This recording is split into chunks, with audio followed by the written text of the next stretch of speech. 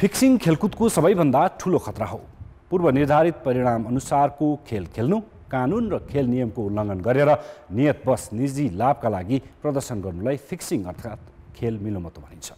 खेल अनुसार फिक्सिङ गर्ने तरिका फरक हुन सक्छ तर फुटबलमा फिक्सिङका ठुला घटना भएका छन्। पाँच वर्ष अघि फुटबलका सागर थापा सहित छ खेलाडी पक्राउ परेपछि नेपालमा फिक्सिङको बहस सुरु भयो र कानुन पनि बनाइयो तर अझै पनि यसलाई गम्भीर रूपमा लिएको पाइँदैन। विश्व फुटबलको सर्वोच्च निकाय फिफाले फिक्सिङमा शून्य सहनशीलताको नीति अप्नाएको छ। विपक्षीको फाइदाका लागि मात्र नभएर अन्तर्राष्ट्रिय स्तरमा हुने सट्टाबाजीका लागि अनुकूल नतिजा निकाल्न पछिल्लो समय खेलाडी म्याच अफिसियलदेखि पदाधिकारी समेत संलग्न हुने गरेका छन्।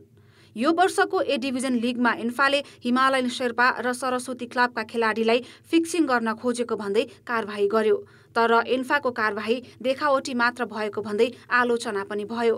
हरेक लिग र मोफसलमा देखिने गरी फिक्सिङ हुँदै आएको तर इन्फा अझै पनि यस विषयमा गम्भीर हुन नसकेको आरोप लागिरहेको छ। छब्बिस सत्ताइस वर्षदेखिको लिगमा त प्रत्यक्ष छु नि होइन? अब नभए सायद फिक्सिङ नभएको चाहिँ लिग चाहिँ कुनै पनि छैन होला होइन? तर मैले अब यो फिक्सिङको विषयमा बोल्दा प्रमाण दिनुपर्छ नि त। होइन? प्रमाण जुटाउने भन्ने कुरा धेरै गाह्रो छ। र अरू कुरा कति बेलामा प्रमाण जुटाएर एन्फामा दिँदाखेरि त्यो प्रमाणको भएको मोबाइल सेटहरू गायब बनाएको स्थितिहरू पनि छ भनेपछि त्यो लेभलको मान्छेहरूमा त त्यो छ भने हामीले त तपाईँको थाहा हुन्छ। होइन? अब तपाईँको एउटाले भनौँ न लिग सिद्धिएको तिन वर्षपछि त्यो म्याचमा मैले यति पैसा ल्याएको थिएँ भन्ने प्लेयरहरू पनि फेला पर्छ। होइन? तर अब त्यो हामीसँग प्रमाण त हुँदैन नि। अब मैले त्यो त्यही प्लेयरले नै भनेको र सुनेको भनेर त भएन। नभएदेखि चाहिँ फिक्सिङ छ। इन्फाले दुई वर्ष अघि घरेलु र अन्तर्राष्ट्रिय प्रतियोगितामा हुन सक्ने फिक्सिङको निगरानी गर्न इन्टिग्रिटी अफिसर नियुक्त गरेको थियो। ए बी सी डिभिजनको लिग र अन्तर्राष्ट्रिय प्रतियोगिताहरूमा इन्टिग्रिटी अफिसरको नजर रहन्छ। पछिल्लो समय नेपालले खेलेका केही अन्तर्राष्ट्रिय खेलमा फिक्सिङ भएको आशंकामा अनुसन्धान भइरहेको छ। योभन्दा अगाडि जुन बेलामा चाहिँ हामीसँग चाहिँ अब यो इन्टिग्रिटी भन्ने नै नभएको अवस्थामा पनि पहिला पनि घटनाहरू भएका छन् जुन कुरा चाहिँ अब संसारभर नै छ नेपाली खेलाडीहरूले मिलोमतो गरेर खेलेको भन्ने कुराको सम्बन्धमा। त्यो सम्बन्धमा र अब अहिले अरू इन्टरनेसनल गेमहरू जुन भइरहेको छन् त्यो गेमहरूको सम्बन्धमा पनि अब हल्लात विभिन्न हुन्छन् कि हामी अनुसन्धानमा छौँ। अब अहिले मैले यो विषयमा यसले यसो गर्यो उसले यसो गर्यो मैले बोल्न मिल्दैन।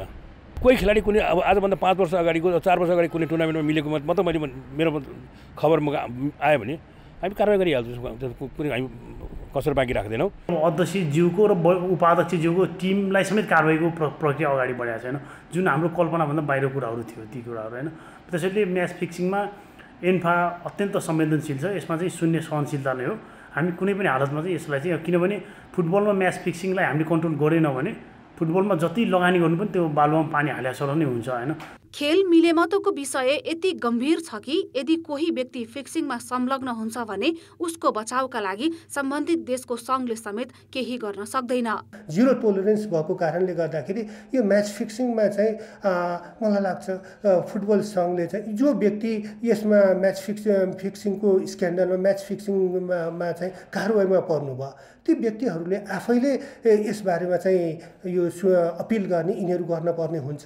मलाई लाग्छ फुटबल सङ्घले यसमा चाहिँ के गर्न गर्न सक्छ जस्तो लाग्दैन होइन? नेपालमा फुटबल इतिहास लामो भए पनि कानुन मुलुकी फौजदारी संहिता आएपछि मात्र फिक्सिङलाई राज्य विरुद्धको अपराधका रूपमा परिभाषित गर्यो। यस्तो कसुर गर्नेलाई अधिकतम पाँच वर्ष कैद र पचास हजार जरिवाना गर्न सकिने व्यवस्था छ। फिक्सिङ खेल क्षेत्रको अध्यारो पाटो हो। यस विरुद्ध कडा कदम चालिएन भने अन्तर्राष्ट्रिय स्तरमा राज्यकै बदनामी त हुन्छ नै खेलकुदमा गरिएको लगानी बालुवामा पानी सरह हुनेछ। कान्तिपुर समाचारका लागि क्यामेरामा पशुपति बुढाथोकीका साथ सबिना कार्की काठमाडौँ।